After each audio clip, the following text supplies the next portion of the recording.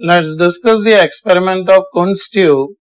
We can write down that uh, this experiment is used to calculate and compare sound speed in uh, different gaseous media In different gaseous medium, we can uh, calculate sound speed using this setup.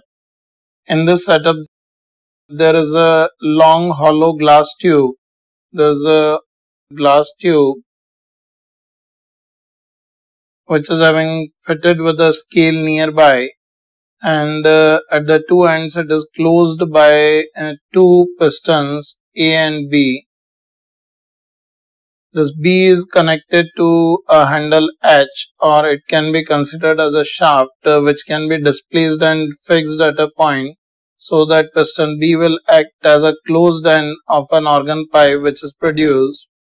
And uh, with the piston A a metal rod M is connected which is clamped at its midpoint C which is of length L naught and to detect the oscillations in the organ pipe made between the two pistons we place uh, a thin layer of lycopodium powder. Lycopodium powder is a very low dense powder which uh, can be disturbed and uh, floated in the region between the two pistons with a slight disturbance only.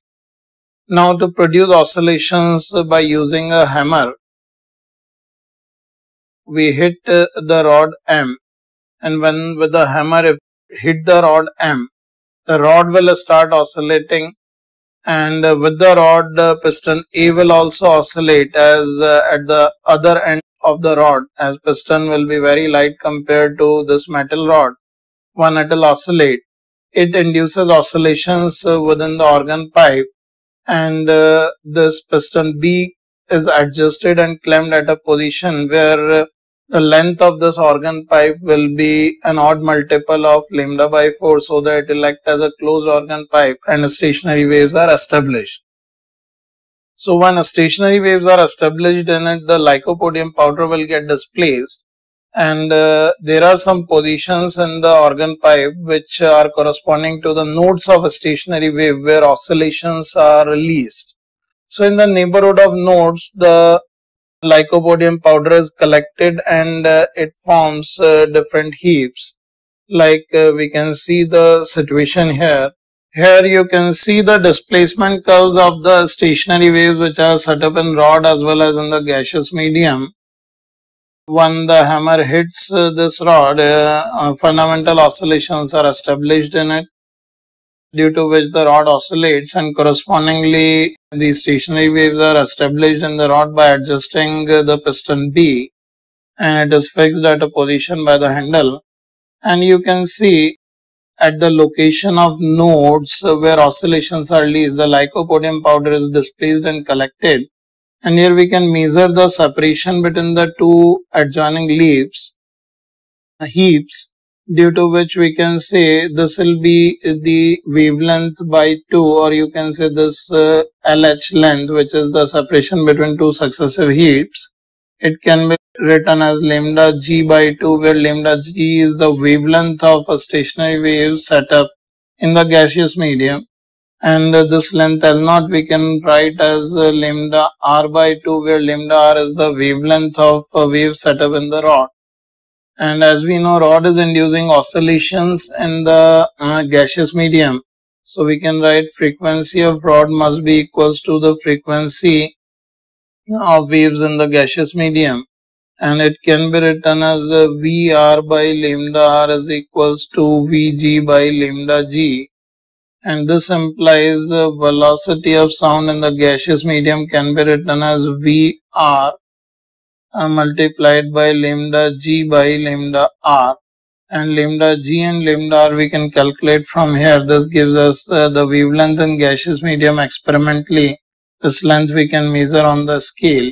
This twice the LH and wavelength uh, in the rod can directly be written as twice of L naught which is the length of the rod.